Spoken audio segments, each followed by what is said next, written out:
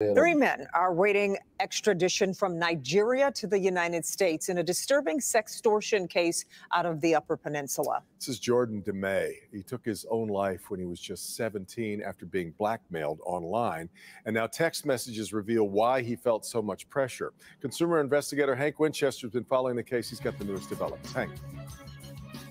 The FBI and investigators, they know these sextortion cases are growing not only here in Michigan, but across the country. Tonight, new information about this particular case and what you can do to protect your own children.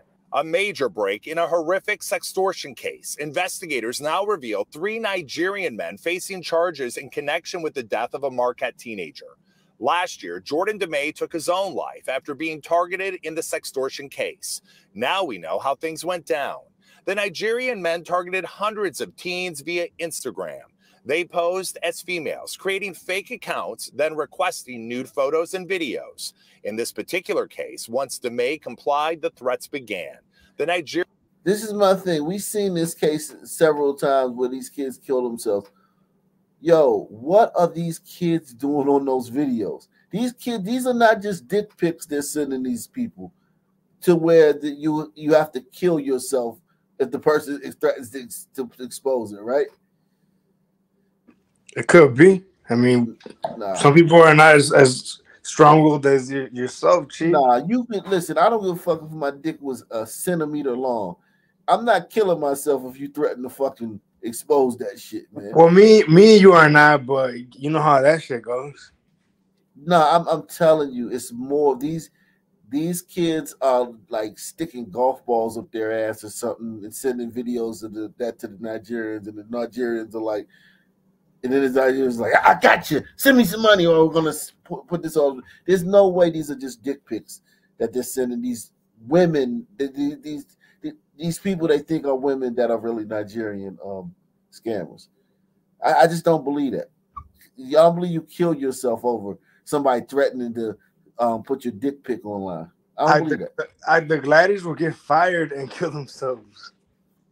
Yeah, I still nah, that's more of a that's more of a um tiger thing, but I don't know, man. I just I just don't think so. As females, creating fake accounts, then requesting nude photos and videos. In this particular case, once DeMay complied, the threats began. The Nigerian men allegedly saying they would make the photos go viral unless he paid. Here are copies of the text message exchanges. The suspect saying, just pay me right now. He goes on to say, and I won't expose you. The victim, how much? Suspect, $1,000. After DeMay paid $300 and said that's all he had, the text messages continue. See, like that kid doesn't pay you $300 to not put his dick pic online. You just don't, man. You say, you say, you say, man, fuck you, go put it out. I don't give a shit. Like it's on the internet. It's not like it's just you and him on the internet. It's a million people on the internet. Your dick pic you lost. You Man, nobody gives a fuck. You had to it could be something. It could right. be that he was jacking off. Nah, jacking off. I don't, that ain't that ain't enough to kill yourself.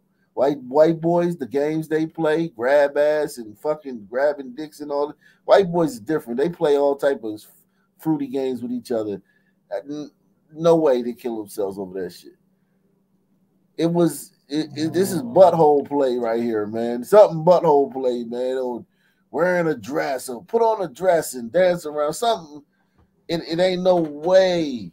It, I don't know, man. You, you got to see, like he's a young kid. Like he probably he doesn't have that for foreknowledge. Yeah, of, like kids are carjacking people and killing people and shooting up schools. Oh, that's you. Have, that, that's that's young son kids.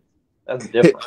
Hey, hey how much is a three hundred dollars in Nigeria? Like one million? Oh my god, yeah, three hundred dollars is. I don't know the rate of exchange. When I went in '93, it was like thirty six dollars to one, and that was 1993.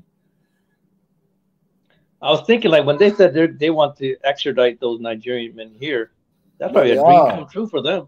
They are extraditing them here. The suspect saying, "Just pay me right now." He goes on to say, and I won't expose you. The victim, how much? Suspect, $1,000. After DeMay paid $300 and said that's all he had, the text messages continued. The suspect saying, enjoy your miserable life. The victim, I'm killing myself right now. He goes on to say, because of you. The suspect, good. Do that fast. Damn. wow. He said, I'm killing. Yeah, there's no way you kill yourself. This kid's got a bright future. He's got his whole life ahead of him. There's no way. There's no way. No way. There was something that was just jacking off or a dick pic. We even saw a case where a black kid killed himself. Um, over this same this same scam. There's no way, man. You kill yourself over a dick pic. Somebody, I'm gonna put your dick pic out there. Oh, he goes on to say, because of you. The suspect, good. Do that fast. Sextortion crimes are growing, and this case shows you the real danger.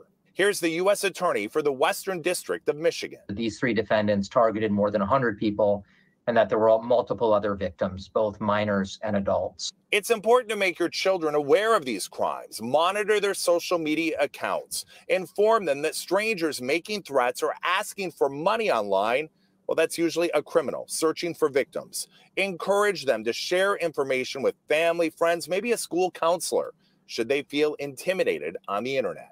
And investigators also tell me they're looking for other potential victims here throughout the state of Michigan, and they're encouraging those victims to reach out to police in their communities or to the FBI directly.